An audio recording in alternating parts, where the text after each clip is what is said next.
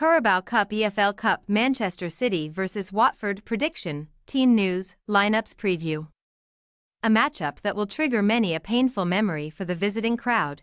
Manchester City and Watford cross paths in Tuesday's EFL Cup third round clash at the Etihad Stadium. While the reigning Premier League champions enter one of their favorite competitions, at least in terms of success under Pep Guardiola, at this stage, the Hornets have already seen off MK Dons and Plymouth Argyle to set up a glamour tie.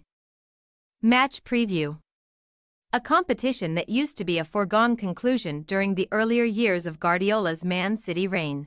The top flight champions are yet to add another EFL Cup crown to their tally since a remarkable fourth on the bounce and their eighth overall in the COVID affected 2020 21 season. The citizens have swapped EFL Cup medals for shinier Champions League and Club World Cup accolades over the past couple F years, although they have evidently lost their knockout noose in this competition. Only getting as far as the quarter-finals since the start of the 2021 22 season. Guardiola's bid to regain EFL Cup supremacy last year memorably ended at this exact hurdle to Newcastle United.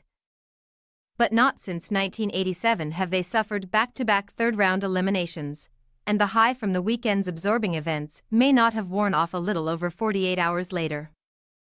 For over 45 minutes of Sunday's second half with Arsenal, the Gunners' 10-man low block appeared impenetrable, only for substitute John Stones to bundle home Man City's latest ever Premier League goal on record in an engrossing 2-2 draw. One which keeps Guardiola's men at the summit while simultaneously ending their 13-match winning run in the top flight. Erling Haaland's record-breaking 100th Man City goal preceded Stones's bedlam-inducing leveler as well as Ricardo Calafiori and Gabriel Magalhaes's efforts in between but the Scandinavian sensation will surely have to wait for number 101 as the hosts work with just one full day of rest.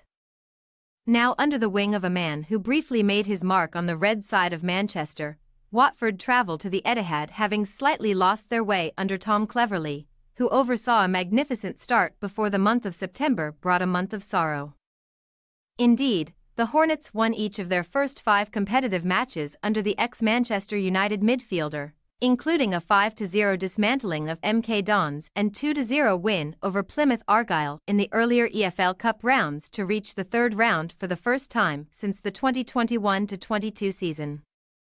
However, that two-goal triumph over Plymouth on August 27 represents the Hornets' most recent win in any setting, as they have only taken a paltry one point from three championship games this month losing to Sheffield United and Norwich City, either side of a home draw with Coventry City. Saturday's defeat to Norwich was particularly chastening for Cleverley, whose side were swept aside 4-1 by the Canaries to leave them outside of the top six in eighth position. Albeit still just one point outside of the playoffs at this early stage. Both the September form book and head-to-head record makes for extremely grim reading for the Watford faithful.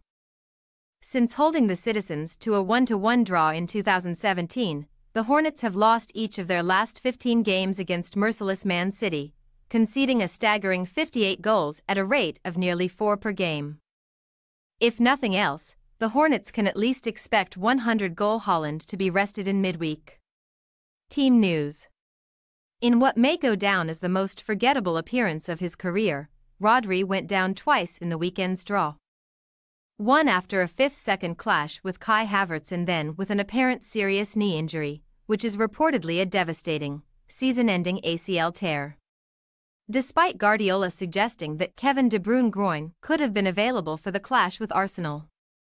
The Belgian, as reports suggested, was not in the matchday squad and should not be thrown back into action against second-tier opposition either.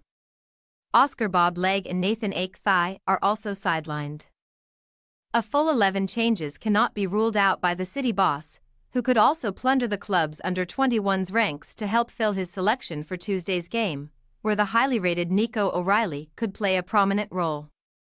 Meanwhile, Watford's efforts against Norwich were not helped by two early defensive withdrawals, as goalkeeper Daniel Bachmann and centre-back Francisco Sierralta were both taken off within just a few minutes of each other in the first quarter of the game.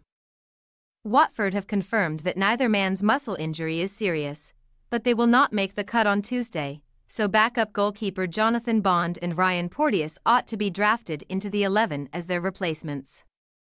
Kevin Keben and weekend goalscorer Ryan Andrews' hamstring are also out of contention for the Hornets, while striker Daniel Jebbison is cup-tied, having played for Bournemouth in the second round before his loan move to Vicarage Road.